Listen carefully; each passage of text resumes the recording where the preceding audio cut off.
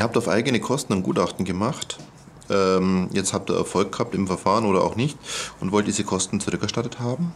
In diesem Video sage ich euch wie.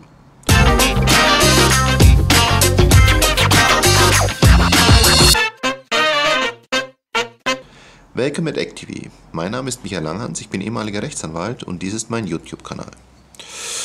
Ähm, wie ich bereits in anderen Videos dargestellt habe, bin ich ja der Meinung, Gutachten vermeiden.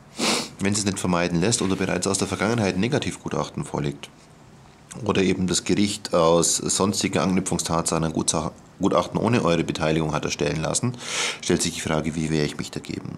Natürlich, äh, dafür gibt es ja auch diese eigene Videoserie von mir, häufige Fehler im Gutachten, kann man das Gutachten zerlegen. Noch besser ist es allerdings, wenn man ein äh, Gutachten mit einer anderen Wertung, mit einem anderen Ergebnis vorlegen kann oder zumindest auch die Fehler und Mängel im Gutachten gutachterlicherseits belegen kann. Ähm, das kostet allerdings eine ganze Menge Geld. Geld, das die meisten äh, zumindest nach dem Gutachten nicht mehr haben. Äh, und deshalb stellt sich immer die Frage, äh, kann ich diese Aspekte ersetzen? In einem normalen Zivilprozess wäre das nicht das Problem, weil solche Parteiauslagen gegebenenfalls festgesetzt werden können. Im familiengerichtlichen Verfahren haben wir aber das Problem, dass ja äh, hier keine vom äh, Obsiegen abhängige Kostenentscheidung getroffen wird. Und genau deshalb ist die folgende Entscheidung wiederum des Oberlandesgerichts Hamm, hier 25W 94-13, ähm, eine ganz wichtige. Ja. Die Aufwendungen für die Beauftragung eines Privatgutachtens sind zur zweckentsprechenden Rechtsverfolgung erforderlich. In Bezug auf prozessbegleitend eingeholte Privatgutachten ist die Erstattungsfähigkeit entsprechend der Aufwendungen allerdings insoweit eingeschränkt, dass es Sache des Gerichtes ist, Beweiserhebungen durch Einholung von sachverständigen Gutachten durchzuführen.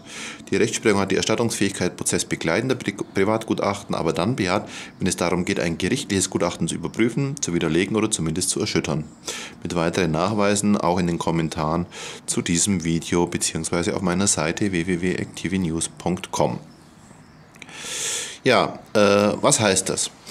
Äh, Im normalen Zivilprozess, wie ich gesagt habe, äh, natürlich die Erstattungsfähigkeit dieser äh, äh Kosten. Im familiengerichtlichen Gutachten gegebenenfalls eben auch als PKH-Kosten, weil sie eben zur äh, zweckentsprechenden Verteidigung notwendig waren aufgrund dieser Entscheidung. Damit habt ihr effektiv die Möglichkeit, euer Geld zurückzubekommen oder zumindest teilweise zurückzubekommen, ähm, weil damit das äh, Oberlandesgericht Hamm zu Recht anerkennt, dass man letztlich ja ohne eine sachverständige äh, Gegenbegutachtung kaum eine Chance hat, äh, das, was das Gericht initiiert hat, zu widerlegen. Beziehungsweise äh, folgen die Gerichte ja sowieso im Zweifel immer ihren eigenen Gutachter. Deshalb ist diese Entscheidung eine ganz wesentliche, die ihr kennen solltet, die ihr eurem Anwalt mitteilen müsst, um eben den Schaden für euch äh, so gering wie möglich zu halten.